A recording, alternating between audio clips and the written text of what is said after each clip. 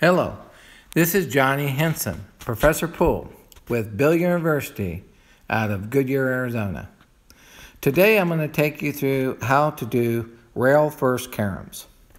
Now, what's really important when you're doing a rail first carom is factor that the, the, the uh, width of the object ball or the cue ball that you're going to use uh, in the carom is going to pass by the ball without touching it because if you uh, if there's not that much space, then the carom almost becomes impossible. So what you want to do is picture that the space of your cue ball or your object ball is, it don't exist. In other words, and then anything above the width of that ball is the space that you're making up off the rail. So let's say the ball is further off the rail, then uh, then you're going to have to hit a little further back on your bank so that you know your ball will have a chance to come come come to the bank, come out, and then carom off that ball. So that's why you want to change different distances for the object ball that you're playing off of uh, away from the rail because then that that changes uh, you know how how uh, how you have to bank that ball off the rail in order to make it so as you practice this you'll realize that when, when you've got about an eighth or a quarter of an inch between uh, the cue ball uh, and the ball uh, on the rail, off the rail, that th those caroms are very easy, almost automatic.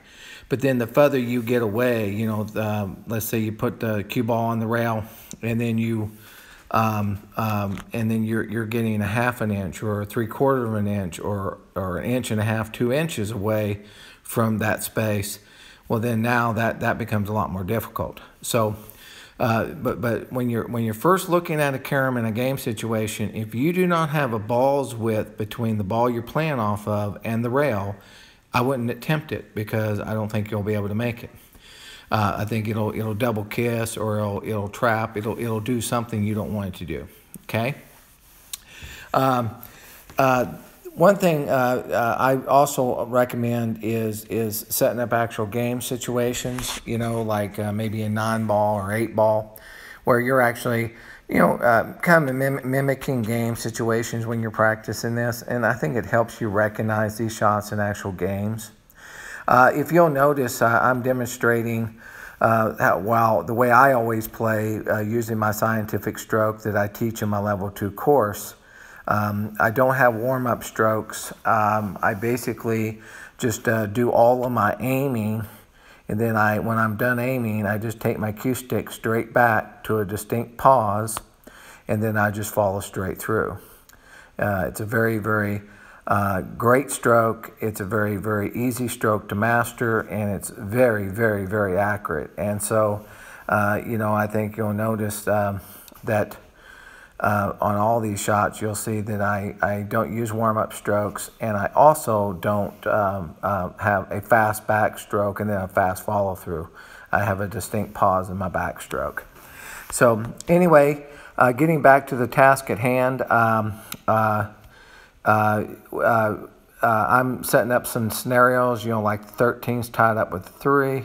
So what we're going to do is we're going to play a rail, rail first and then, you know, break those out. So once you start setting up different game scenarios, you're going to realize that you're going to run into these a whole lot more than you think. Because right now you're not looking for them because you haven't mastered them. Once you master them, then they'll just, oh, okay, I see that, I see this, you know.